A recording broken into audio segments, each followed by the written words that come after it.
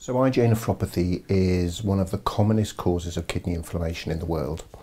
It predominantly affects young adults and at the moment, despite this disease being known about for the past 50 years, we have no treatment for this condition.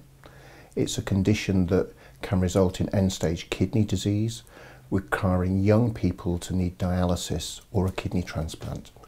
And what's particularly disheartening about this disease is even if a patient receives a kidney transplant, it can come back in that transplant and lead to the loss of that kidney transplant and the requirement for that patient to go back onto dialysis.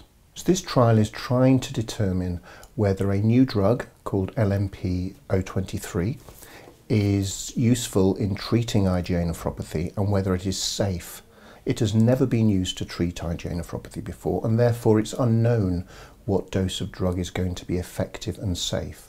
And so the design of this study allows the sponsor to test different doses of drugs to determine which of those drugs are likely to be useful and therefore to continue with those doses in a second or third phase of the study. So in terms of an adaptive design, this is the first study we've actually undertaken that's been an adaptive design. All the stud other studies we've done have been the traditional phase two or phase three design.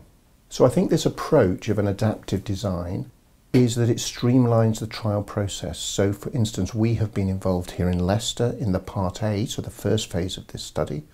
We are comfortable with the, de the design of the study and delivering the study.